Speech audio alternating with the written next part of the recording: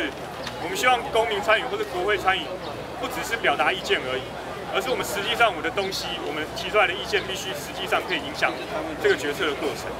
那其实在这个民间版里面，它其实分了很多呃不同的阶段。首先呃，我我这边我有参考那个之前网络上有些神人去翻译了那个韩国的那个呃国际通商协约的签订的部分。那其实民间版本，我觉得相当程度有去参考这个韩国韩国版本部分。那我觉得它的特色是在于说，我们先有一个这个两岸缔结契约，呃，缔结条约的时候有一个缔结计划。那这个缔结计划呢，它在呃行政机关在形成这个缔结计划的时候。他就已经必须要透过公听会的方式去参与，让大家让大家知道这件事情。那这个缔结计划必须送到国会议决，要经过国会三分之二的立法委员同意这个。缔结计划，他才可以跟着依照这个缔结计划去签约。那这缔结计划，它可能只是一个比较概括的计划、概括的方向。那立法委员通过之后，行政机关必须依照这个方向去缔结后续的更细节的这个这个条约。那里面也有特别讲到，如果没有经过立法委员这个缔结计划，参与这个缔结计划，呃。去签订的这个条约是无效。那另外，在这个呃官方去签约之后，在签约之前，如果说官方已经跟呃其他机关，比如说跟中国，他已经有了基本的共识，他就必须把这个草案公布给大家，让大家给大家看。那他除了公布草案之外，他还必须要提出冲击影响评估，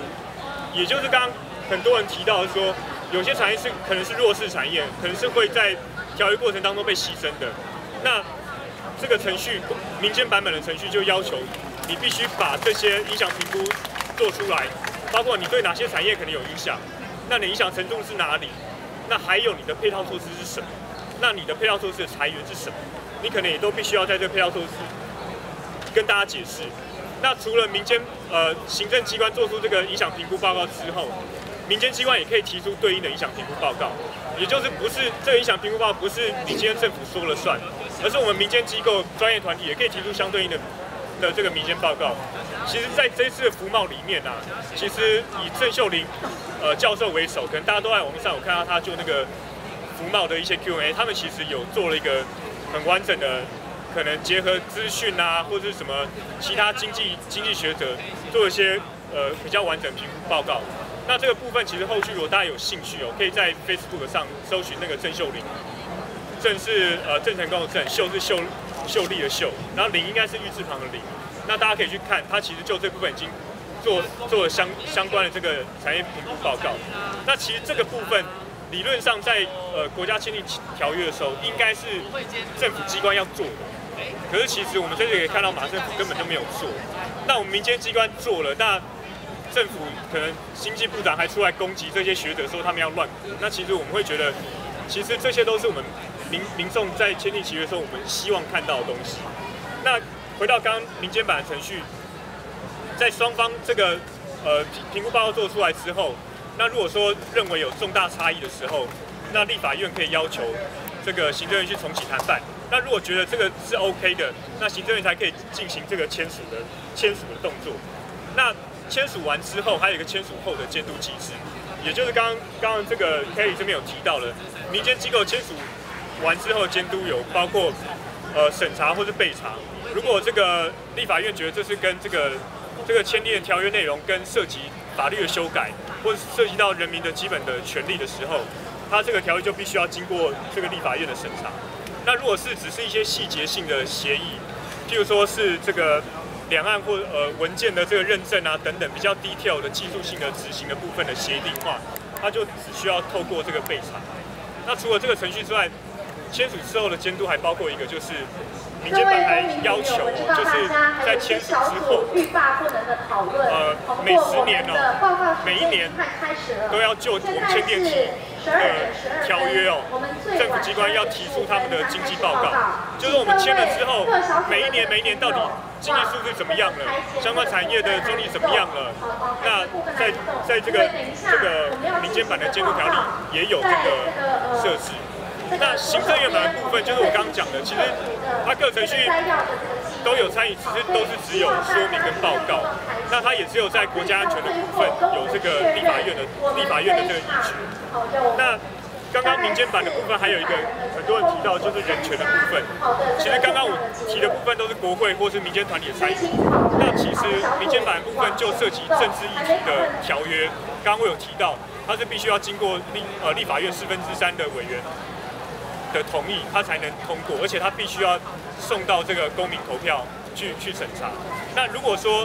我们人民认为这个条约的内容本身会侵害到我们的基本权利的时候，那这个民间版的条约也有一个内容是说，我们可以提起行政诉讼，我们可以向我们的法院，呃，依照程序去提起诉讼，认为我们哪些权利受到侵害的。那法呃民呃政府机关就必须要回应人民这些诉讼上的请求，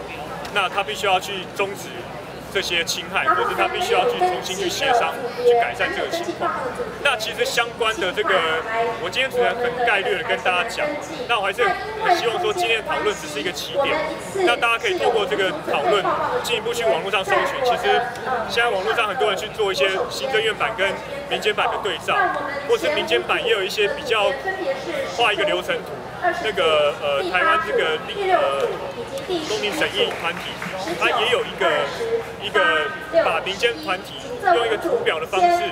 去跟大家说明说，民间版本到底它所有的程序是长什么样子。那大家可以先从这些简单图表入手，那再回去看我们比较详细的条文。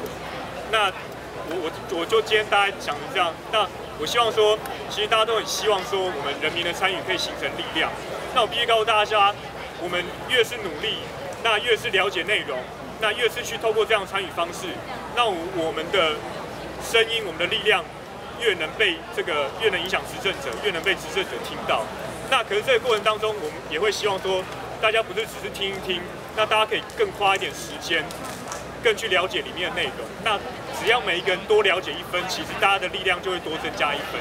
那大家了解之后，大家提出来的公共讨论或是公共参与。大家都会更有力量。那我希望坚持这个开始，那大家可以后续继续去关心我们这个两岸监督条例的进行，这样子。谢谢。